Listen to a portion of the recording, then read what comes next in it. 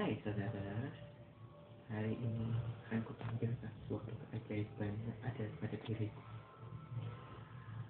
Perhatikan tangan saya dan akan terjadi. Ah, ternyata buku. Ada lagi. Perhatikan baik-baik. Tangan perhatikan. Uh, remote.